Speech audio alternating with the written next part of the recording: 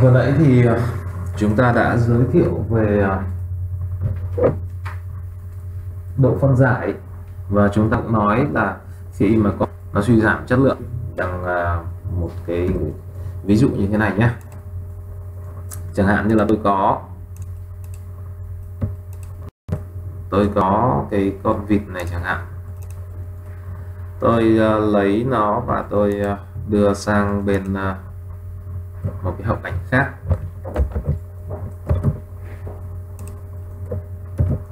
ví dụ như thế này. Ctrl T tôi thu nhỏ lại và tôi đặt nó vào cái vị trí như thế này chẳng hạn. À. sau đó nếu như mà tôi cảm thấy là nó vẫn chưa hợp lý trong cái thiết kế như thế này, tôi có thể muốn đẩy nó xa ra. Mà đẩy càng xa thì làm sao hình nó phải nhỏ, đúng không? Xa chúng ta thì nó phải nhỏ. Tôi thu nó nhỏ lại tiếp vẫn chưa hợp lý. Đẩy ra xa nữa. Thủ tiếp. Như thế này. Nhưng sau đấy tôi lại muốn là gì chỉnh lại. Ở tôi cần một cái gì đó gần hơn. Tôi lại kéo nó to lên. Và tôi đưa nó về đây. Chỉ một chút thôi. Các bạn đã thấy là cái con vịt này bắt đầu suy giảm chất lượng. Trông nó nhòe nhòe rồi. Lý do vì sao? Vì chúng ta đã thay đổi kích thước của cái layer mà chứa con vịt này. Thế thì uh, khi mà chúng ta thay đổi kích thước của một layer ảnh thì điều gì xảy ra? Số lượng pixel sẽ thay đổi đúng không vừa nãy là con vịt to. Ví dụ như là chúng ta có 500 pixel chiều dài của ảnh con vịt đó chẳng hạn. Bây giờ tôi thu nhỏ nó lại nó còn 100 rồi còn 50 rồi còn 30 gì đó. Thế thì một số lượng pixel nhất định đã bị mất đi khi mà chúng ta thay đổi kích thước nó. Sau đó thì tôi lại muốn làm cho nó to lên để phù hợp hơn với lại ý tưởng của tôi. Thì tôi kéo lên, thì lúc đó sẽ có một số lượng pixel mới phát sinh. Và như cái vừa rồi chúng ta trao đổi, số lượng pixel thì có thể phát sinh, nhưng số lượng màu phát sinh ở đâu ra? Nó chỉ có thể sử dụng những cái pixel vốn có với cái màu vốn có đó, để nó nội suy nó nhân bản ra thêm thôi. Đấy chính là lý do tại sao lúc đầu tiên vào cái ảnh trông rất nét, nhưng bây giờ thì trông nó nhòe nhòe, sau khi mà chúng ta thu nhỏ thì chúng ta lại phóng to. Đấy.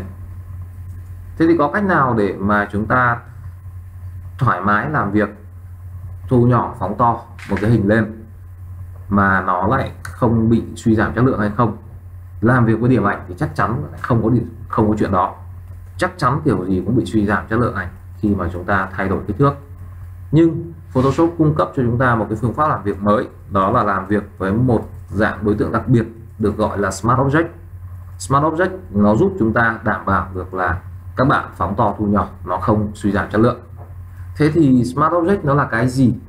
Các bạn đã bao giờ nghe tới cái khái niệm là đóng băng máy tính chưa nhỉ? Vì là rất nhiều trường hợp là máy tính bị dính virus cho nên người ta mới phát minh ra một cái cái loại chương trình có tính năng gọi là đóng băng máy tính. Có nghĩa là bạn có thể làm rời để gì kệ kể cả gắp virus bỏ máy cũng được. Đó.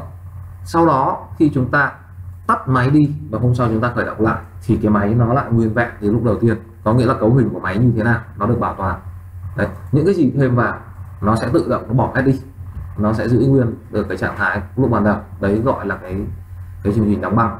Thế thì bây giờ chúng ta cũng có một khái niệm cũng gần gần tựa tựa như cái đóng băng đó. Có nghĩa là tôi có một layer, tôi biến nó thành smart object thì nó sẽ bảo toàn toàn bộ các tham số vốn có ở trên cái layer đó. Bạn có co, bạn có duỗi, bạn có thay đổi thế nào đi nữa thì cũng không tác động được tới cái cái thông số gốc mà nó đã chứa ở trong cái trong cái cái cái layer dạng smart đó rồi. Đấy, chính vì tham số nó được duy trì cho nên bạn có thể phóng to, thu nhỏ, xử lý thoải mái. Bây giờ tôi sẽ xử lý lại cho các bạn xem thế này nhá. Bây giờ tôi dán vào đây. Đây là một layer ảnh, đúng không? Bây giờ tôi lại công Ctrl G. Tôi lại tạo ra một cái layer thứ hai. Và tất nhiên, đây cũng lại là một cái layer ảnh. Thế thì chúng ta đang bàn đến Smart Object, đúng không? Chúng ta chưa thấy Smart Object thì chúng ta sẽ phải tạo ra nó. Tạo ra nó thì bây giờ tôi chuột phải vào trong cái layer này và tôi chọn một cái lệnh là lệnh convert to smart object. Sau khi tôi nhấn lệnh đây, thì các bạn sẽ thấy là có sự thay đổi trên này. Đây, tôi mở to cái này lên nhá, để các bạn nhìn thấy là một layer ảnh thông thường này và một layer dạng Smart Object, nó có một cái biểu tượng nhỏ nhỏ góc như thế này. Thế bây giờ có hai cái layer về mặt nội dung trông rất giống nhau. Đó, cái trên là Smart Object và cái dưới là layer điểm ảnh. Bây giờ tôi sẽ chứng minh cái sự ưu việt của Smart Object so với lại layer ảnh. Các bạn quan sát. Tôi nhấn Ctrl T. Trước hết là tôi chọn cả hai layer đã. Đấy, cả layer ảnh lẫn layer Smart Object. Sau đó tôi nhấn Ctrl T để hiện cái bounding box cái hộp điều khiển. Giữ shift và an co từ góc để co một mạch với tầm bây giờ tôi co thật nhỏ cái hình ảnh này lại.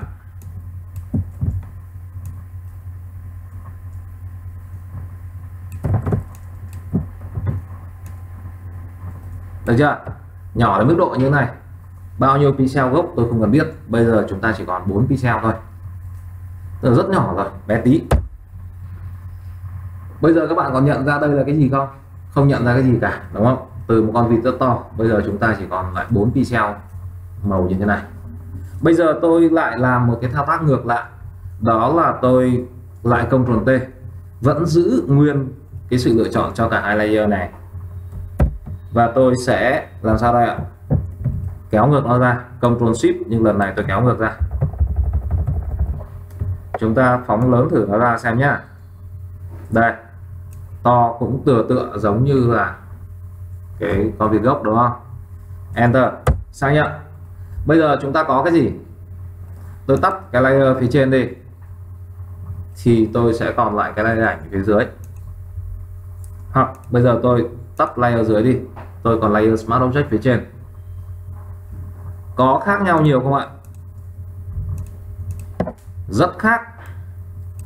Khi mà tôi phóng to và thu nhỏ, hoặc là thu nhỏ phóng to, thì các bạn thấy cái quá trình làm việc thì cái layer ảnh do cái sự thất thoát của các pixel khi mà chúng ta thu nhỏ nó lại. Đấy. Thì ngoài cái số lượng pixel nó bị mất đi, thì còn có rất nhiều các tham số màu nằm trên các pixel đó cũng mất theo. Và do đó đến lúc mà tôi kéo lớn cái hình ảnh lại, số lượng pixel có thể tự động bù lại được, nhưng mà nó lại không lấy đâu ra tham số màu để nó bù lại. Do đó đến lúc phóng lên, chỉ dựa trên một số màu ít ỏi của 4 pixel còn lại. Nó nhân bản ra và nó nhân ra như thế này. Các bạn nhìn thấy nó chỉ là một cái mảnh mờ mờ thế này. Trong khi cái đối tượng smart object, kể cả bây giờ tôi còn phóng to hơn mẫu nữa đi. To hơn mẫu gốc đi. Như thế này chắc chắn là to hơn mẫu gốc rồi. Thì các bạn thấy nó vẫn rất là sắc nét. Nó vẫn rất là rõ ràng đây là cái ưu điểm không thể chối cãi của cái Smart Object so với lại làm việc với layer ảnh vì sao? Vì là tất cả mọi tham số nó đều được duy trì, nó đều được ghi nhận ở trong chính cái layer dạng đặc biệt này rồi. Và dựa trên cái tham số gốc đó, dù nó thu nhỏ lại hay nó phóng to lên thì nó vẫn có cái tham số gốc để nó đối chiếu, để mà nó xử lý lại phù hợp với cái kích thước mới của cái layer này thế đây là một cái lợi điểm mà không thể nào mà so sánh được giữa cái layer điểm ảnh thông thường với lại layer dạng Smart Object. Thế nhưng layer Smart Object thì nó lại có một cái điểm không được thuận lắm, đó là gì? Các bạn không làm việc trực tiếp được ở trên cái layer này. Bây giờ chúng ta cứ lấy một cái hình ảnh như thế này để hình dung. Cùng là một cái khung tranh cả, nhưng mà một cái nó giống như là một cái khung có kính và một cái là không có kính. Đó, cái không có kính là cái layer thông thường. Có nghĩa là các bạn có thể cầm bút, các bạn vẽ thêm, các bạn làm gì vào trong cái bức ảnh ở trong khung cũng được. Còn cái thằng smart object, nó giống như là được bảo vệ ở trong lớp kính rồi. Các bạn không thể vẽ vào nó được. Các bạn vẽ là vẽ vào kính. Tức là không thay đổi trực tiếp vào trong cái đối tượng đó được. Đây, tôi lấy bút này. Đó. Các bạn thấy công cụ bút tôi muốn tô vào đây không tô được. Vì nó được bảo vệ rồi. Tôi muốn tẩy. Đưa tẩy vào. Nó cũng không cho tẩy. Nó có biển gạch chéo đúng không? Tôi uh, muốn làm bất kỳ một công cụ nào. Thì các bạn nhìn thấy tôi đưa vào đây. Hầu như là hiện lên biển cấm. Vì sao? Vì nó đã được bảo vệ nó được đóng băng cái tình trạng này rồi. Đóng băng tham số rồi. Thì đấy là cái điều mà nó giúp chúng ta là bảo đảm an toàn dữ liệu thông tin của cái layer đó. Nhưng ngược lại, nó lại không cho phép chúng ta can thiệp một cách trực tiếp. Mà chắc chắn nó đạt được cái gì? Nó đạt được cái vấn đề trước tiên là co duỗi thoải mái. Đấy, mà các bạn biết là làm một cái thiết kế thì không ai có thể nói rằng là co bao nhiêu, duỗi bao nhiêu, đặt vị trí nào là chuẩn. Chúng ta phải làm đi làm lại, chúng ta thử nghiệm thì chúng ta mới tìm ra được một vị trí hợp lý. Và cái kích thước hợp lý với vị trí đó ở trong bản thiết kế. Do đó thì cái smart object ít nhất trước mắt là chúng ta nhìn thấy là nó thoải mái cho chúng ta trong việc là à sắp xếp vị trí đúng không? Sắp vị trí bên phải bên trái trước sau trên dưới vân vân. To nhỏ khác nhau. Cứ co cứ kéo thoải mái và không bao giờ sợ là nó suy giảm chất lượng. Thế nhưng mà như vậy thì tôi muốn sửa đổi một tí. Có sửa được không? Thực ra thì sửa được đúng không? Tôi lấy ví dụ như thế này. Vừa rồi chúng ta vừa mô tả rằng là cái smart object giống như là một cái bức tranh mà được uh, bảo quản bằng khung kính, và do đó chúng ta không vẽ thẳng vào nó được. Nhưng không có nghĩa là không sửa được. Thay vì việc là vấp phải cái khung kính, thì tôi lôi hẳn cái gì đây? Tôi lôi hẳn cái tranh ra khỏi khung. Tôi vẽ xong rồi tôi lại nhắc trả nó vào khung. Thì cách làm của chúng ta nếu mà muốn điều chỉnh cái này, tôi sẽ làm như sau. Chuột phải vào trong cái layer dạng smart object này. Sau đó thì tôi sẽ chọn một cái lệnh gọi là edit content khi sử dụng lệnh edit content thì nó sẽ tạo ra một cái thao tác giống như là tôi rút cái đối tượng đó ra khỏi cái khung kính, thành ra một cái file riêng ở bên ngoài. Như thế này đấy, lúc này thì các bạn có quyền là gì đây? Vẽ trực tiếp vào đây. Tôi lấy ví dụ, tôi không thích cái màu đỏ của mỏ con vịt này. Tôi thích nó tím tím tái tái, Hàn Quốc một tí thế này cơ. Đó tôi tô vào đây.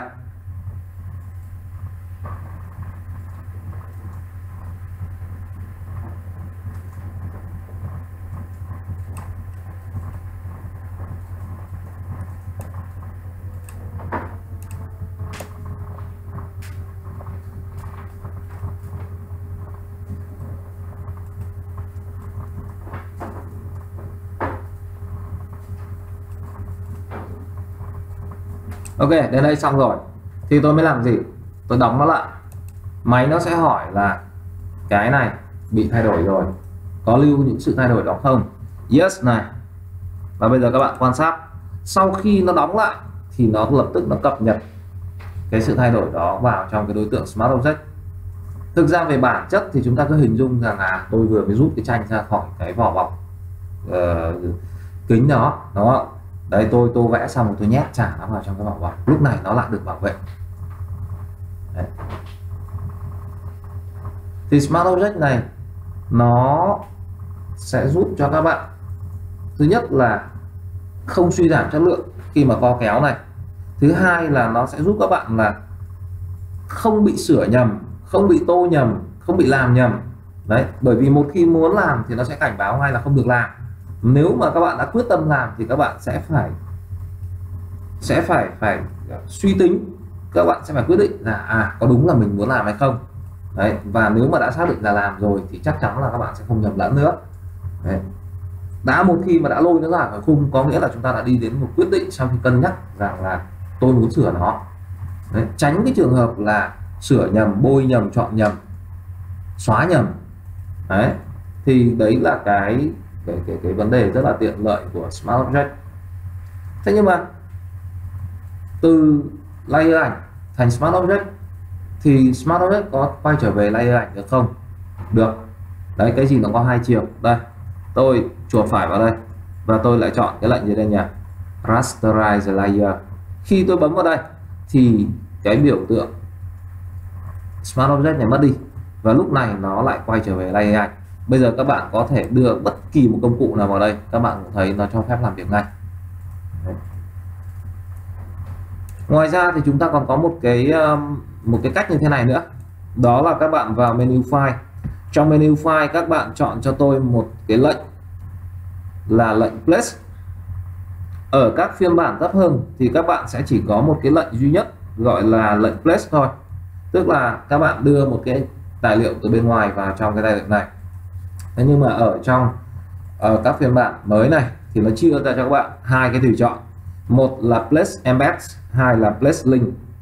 Place link thì có nghĩa là nó sẽ đưa một cái tài liệu từ bên ngoài vào trong cái, vào trong cái tài liệu đang mở đấy, và nó sẽ giữ một cái quan hệ với lại cái ảnh gốc. Khi cái ảnh gốc bị thay đổi thì nó sẽ cập nhật luôn cái thay đổi đó vào trong cái đối tượng mà được nhét vào trong tài liệu mới này. Thế còn nếu mà tôi sử dụng lệnh embed thì nó ngắt đứt luôn cái mối quan hệ đó. Ở ngoài có sửa hay không? Không cần quan tâm. Nó không liên quan đến cái này. Đây, bây giờ chúng ta thử nghiệm nhé. Bây giờ tôi bỏ cái này đi. Và tôi tìm một cái ảnh mới để chúng ta thử nghiệm luôn. File open. Bây giờ tôi lấy thử một cái ảnh nào đó.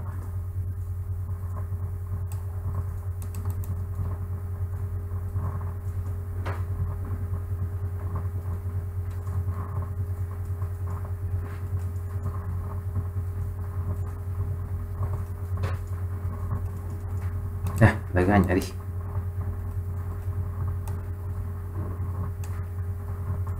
Copy nhá. Bây giờ tôi à, ra desktop, tôi à, giảm nó vào đây. Đây là một cái nhá. Và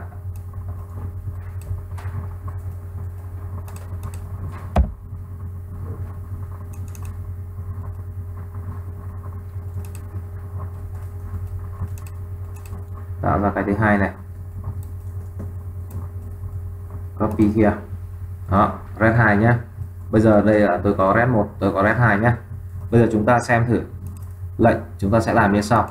File, place link nhá. Mở này. Tôi sẽ đưa cái res này vào đây. Đây, cái ảnh này sẽ được đưa vào. Ok. Và các bạn sẽ nhìn thấy đây là dạng gì nhỉ? Đây là dạng link Đấy. Bây giờ chúng ta mới thử nghiệm bằng cách như thế này. File open. Tôi mở cái ảnh gốc nhé. Trong này tôi sử dụng công cụ uh, bút này sử dụng chế độ color này. Chẳng hạn tôi đổi màu đi.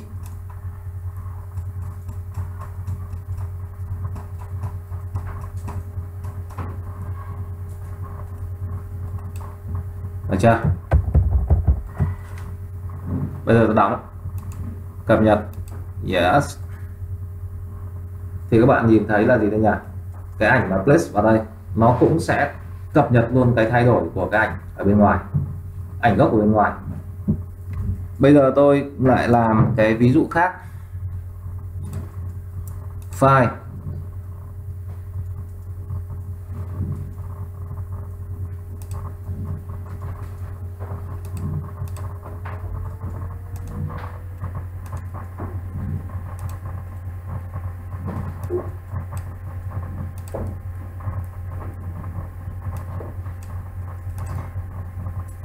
File này place embed này. Được chưa? Bây giờ tôi lấy cái red 2 copy này. Ok. Thì các bạn sẽ thấy tương đối khác này. Bây giờ tôi uh, sửa cái hai nhé open này open 2 này. Tôi lấy màu khác tôi thay màu mắt đi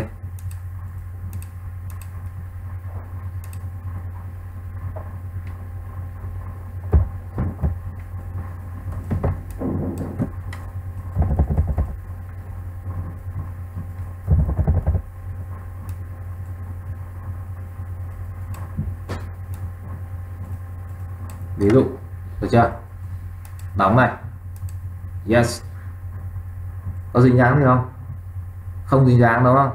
Đấy, thế thì chúng ta phân biệt một chút, tức là cái lệnh mà place place link thì nó sẽ luôn luôn lưu giữ cái sự liên quan của nó với lại cái ảnh gốc được place vào.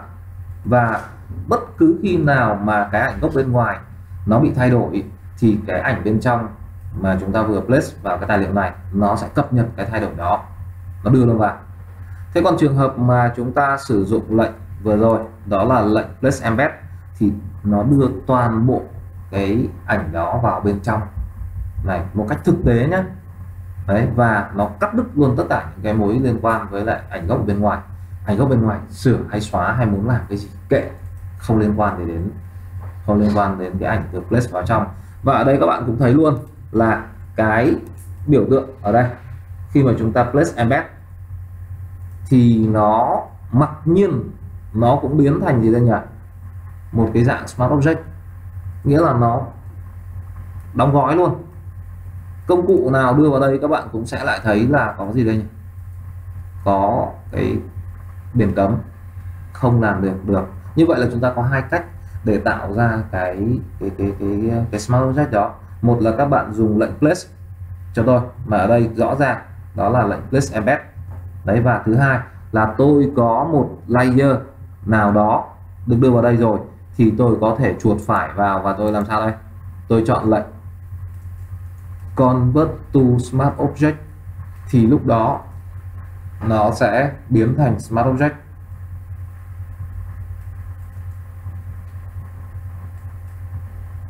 Như vậy là chúng ta đã làm quen thêm được một cái loại hình tài liệu ở trong Photoshop đó là dạng Smart Object.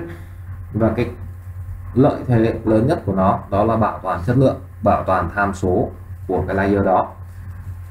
Cái không thuận là gì? Nó không cho chúng ta làm việc trực tiếp, chỉnh sửa trực tiếp trên cái dạng Smart Object, mà nó buộc chúng ta phải làm sao? Chuột phải vào đây và chọn gì đây? Edit Content là để trích xuất cái tài liệu đang được bảo vệ ra thành một file bên ngoài, sau đó sửa xong là tập đóng lại và chấp nhận những cái cập nhật đấy. Thế còn à, nó có một cái uh, phần lệnh nữa ở đây các bạn có thể sử dụng đó là replace content. Replace content là gì? Replace content có nghĩa là tôi không để cái ảnh ở trong cái khung này nữa mà tôi rút cái ảnh ra tôi có thể thay thế một cái ảnh khác vào trong trong cái khung đó. Vẫn vị trí đó đó đây ví dụ tôi chọn lệnh replace content nhé bây giờ tôi sẽ lấy cái ảnh ở ngoài này là cái ảnh đã thay và mắt xanh rồi này. Đấy, các bạn nhìn thấy là tôi đã thay thế. Nó có phải là gì đấy? Nó có phải là smart object không? Vẫn là smart object nhé. Smart object bây giờ chúng ta cứ tạm hình dung nó giống như là một cái khung kính để bảo vệ, để không cho chạm đến đi. Đấy, thì bây giờ tôi làm một cái thao tác là replace content, tức là thay đổi nội dung đi bằng cách là tôi rút cái tranh ở trong khung kính đó ra, thay bằng một cái tranh khác. Vậy ở đây thì các bạn nhìn rõ cái tranh này là thay chưa? Đúng không? Từ mắt đỏ thành mắt xanh rồi, đúng không? Bây giờ thích nữa tôi lại thay mắt khác đi. Đây, ví dụ, replace content tôi lại chọn cái một mắt tím, một mắt đỏ này. Đấy, thì các bạn thấy là tôi cũng đã thay được. Vị trí vẫn nằm đó đó cái khung bảo vệ vẫn nằm đó, nhưng tôi thay đổi một nội dung khác. Hoặc kể là không phải là cậu bé này đi, tôi lấy một cái hình ảnh khác cũng được. Ví dụ tôi thay cái con vịt này vào đấy, thì con vịt lại chui vào và nó vẫn nằm ở trong cái khung được bảo vệ này. Tức là tôi có thể thay nhanh một cái nội dung. Hoặc, cái thằng này, nó giúp chúng ta giải quyết vấn đề gì? Nó giúp chúng ta là xuất nhanh một cái layer này ra thành một cái file độc lập. Đấy. Tôi có thể chuột phải vào đây và tôi chọn cái lệnh gì đây nhỉ? Export content. Export content thì nó sẽ xuất ra cái gì? Nó sẽ xuất ra cho chúng ta thành một cái tài liệu rời bên ngoài. Đấy, ví dụ, save.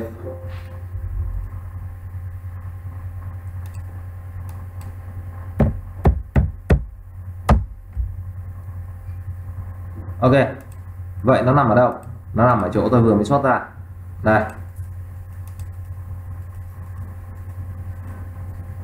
Tại sao lại cần cái này? Tại vì thực ra trong cái quá trình mà chúng ta làm làm một cái thiết kế thì chúng ta phải làm rất nhiều layer khác nhau. Đôi lúc tôi cần lấy một cái tài liệu, lấy một cái hình ảnh ở đó nằm ở trên một layer để đưa ra ngoài. Thì đây là một cái cách xuất rất là nhanh.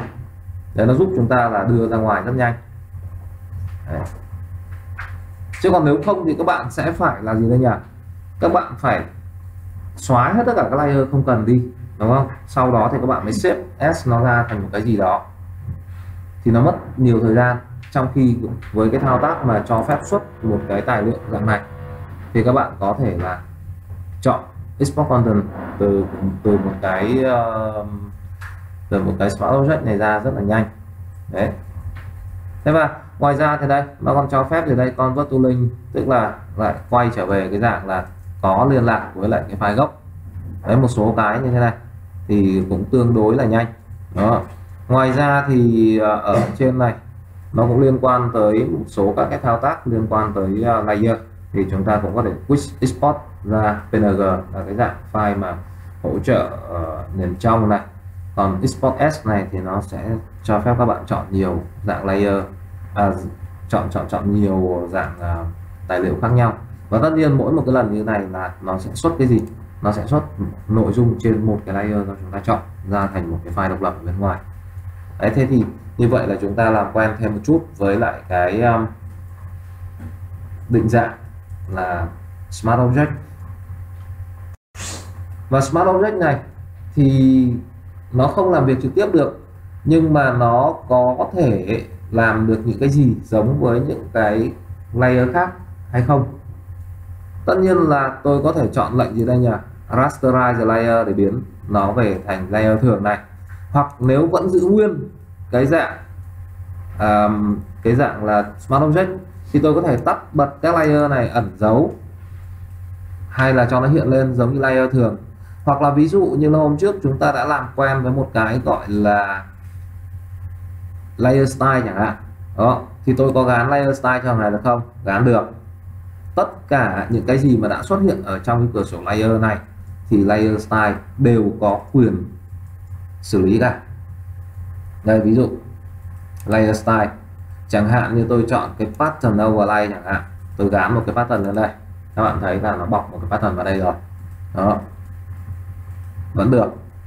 Tôi làm một cái bóng có làm được không? Làm được, ví dụ như thế. Thế thì đấy là một vài cái mà chúng ta sẽ tìm hiểu thêm về cái đối tượng dạng smart object. Thế và nhân đây thì đang nói thêm một tí về cái um, layer style. Thì tôi cũng uh, trao đổi thêm với các bạn uh, một chút về cái kiến thức liên quan tới layer này. Đấy. Đấy, các bạn nhìn thấy ở đây chúng ta có một cái gọi opacity và chúng ta có một cái nữa là fin. Có nhiều bạn thắc mắc là opacity và fin thì nó khác nhau cái gì? Tại vì khi mà em làm em tăng em giảm cái tham số ở trên cái trường opacity và fin. Em thấy là nó có tác dụng giống nhau. Chả khác gì nhau cả. Vậy thì tại sao nó lại sinh ra đến hai cái này? Thì tôi cũng ờ, nhân đây tôi cũng giải thích luôn với các bạn. Khi tôi có một layer như này, đây, chúng ta dùng thử một cái um,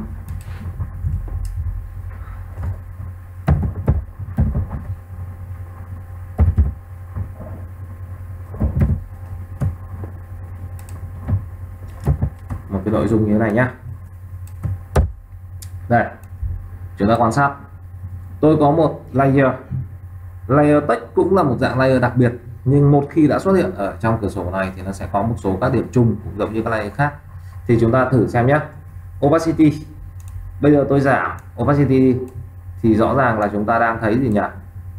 Nó mờ dần đi và đến lúc là trong suốt, đúng không? Không nhìn thấy gì nữa à, nếu mà muốn ờ, xem cho rõ thì có thể là chúng ta lấy thêm một cái hình ảnh nào đấy sang bên này đi.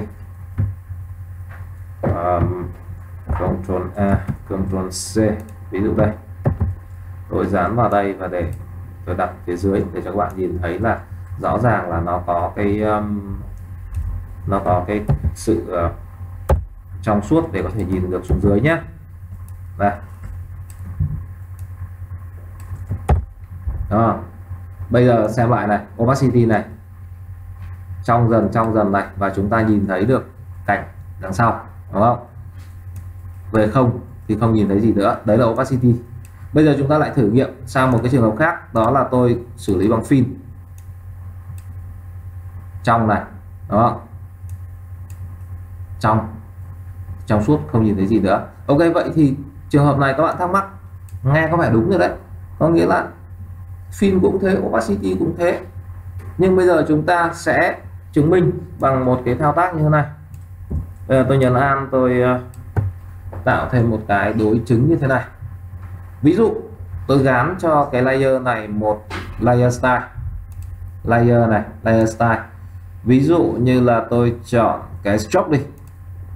Đường viền đi. Tạo viền đi. Đó. Đây tôi làm một cái viền à, uh, outside đi ra ngoài đi. Đây như thế này. Mọi người đã nhìn rõ cái viền rồi đúng không ạ? Như vậy là đây là một cái layer thông thường uh, không có layer style. Và cái thứ hai này là có layer style. Bây giờ tôi làm việc thử ở trên cái này. Các bạn quan sát nhé. Nếu tôi giảm opacity à trong trong trong đúng không? Và kết quả là không nhìn thấy gì nữa. Ok, đấy là opacity. Bây giờ tôi lại làm thử nghiệm lại một cái nữa với phim thì các bạn thấy gì ạ?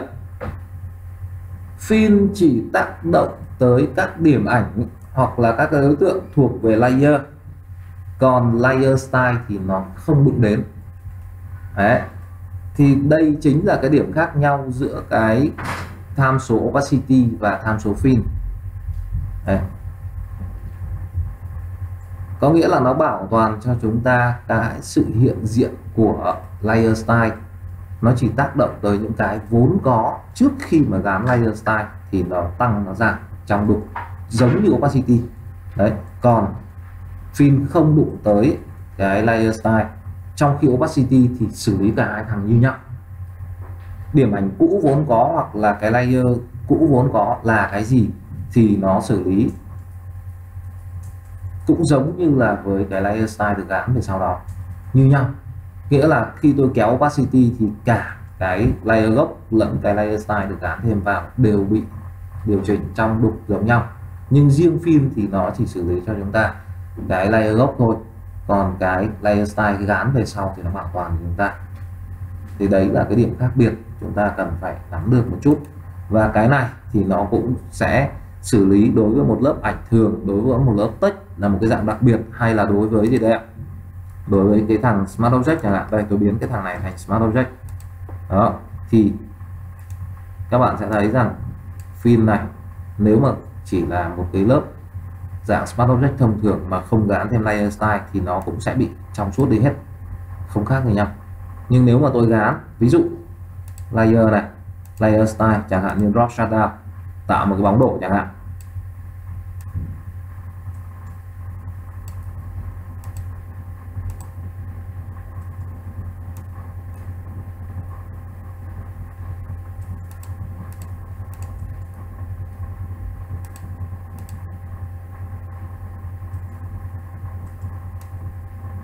đấy, ví dụ tôi tạo một cái bóng đổ chẳng hạn. Thì bây giờ nếu mà tôi cắt hết phim các bạn cũng vẫn nhìn thấy gì? Cái bóng đổ vẫn còn lại. Đấy, thì lớp text cũng thế. Lớp dạng smart object cũng thế, hay là lớp dạng ảnh, điểm ảnh thông thường cũng thế. Đấy, thì nó đều được bảo toàn lại cái phần layer style khi mà chúng ta chỉ điều chỉnh trên phim còn opacity thì mất hết hoặc là trong đều nhau thì đấy, tôi bổ sung thêm cho các bạn là một chút cái kiến thức về cái à, dạng đối tượng đặc biệt là cái à, smart object.